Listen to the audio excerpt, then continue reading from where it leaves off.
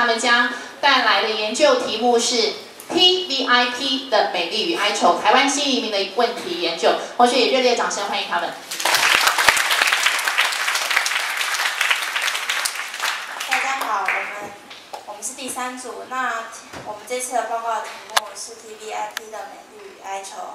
那 TVIP 的意思是泰国、还有越南、印度及菲律宾的外来外籍劳工。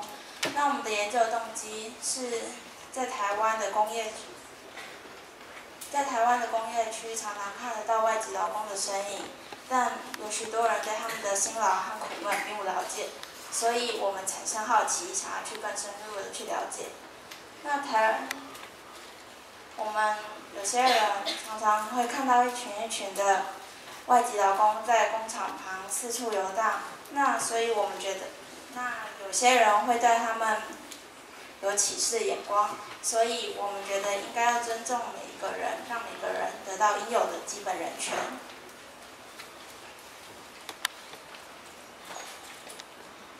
那我们的研究目的有新住民在台湾所面临的问题，还有了解如何帮助新移民的办法。然后上面是我们的文献探讨，然后这是我们拟定的访谈题目，然后我们有去访谈两位外籍妈妈，然后这是我们的问题。研究研究结果与建议。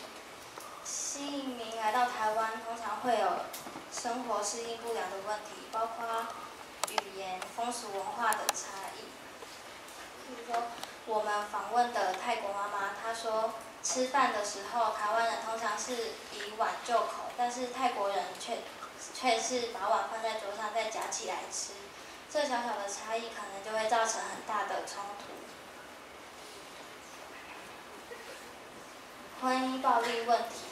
新移民妈妈来到台湾，通常都是能力低落，来，然后来台湾赚钱，所以丈夫可能都是残障、智能不足或者情绪不稳定。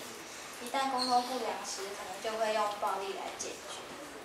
子女教养问题，新移民妈妈来自，新移民妈妈来自不同国家，所以可能来到台湾后会对丈夫的公婆会。产生一些对子女教育问题，社会歧视问题，通我们通常都会对东南亚的外外籍劳工有歧视的行为，例如说在路上看到一群外籍劳工群聚，就会刻意避开，或者是用异样的眼光去看待。嗯，然后根据研究结果，还有我们所访谈的外籍妈妈所提出一些建议，就是我们的婚姻是要经过思考再做决定。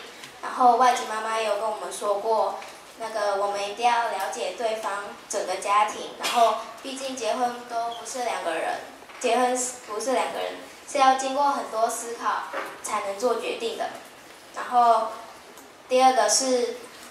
两方的婚婚姻观念都不同，我们必须要多尊重，还有沟通。就是台湾男生有些想法，就是觉得娶一个外籍新娘回来，就是他就会很听话，然后我就会控制他的。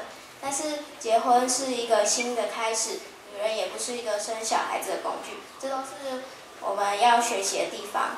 然后第三个是，我们必须包容对方的文化，就是其实外籍。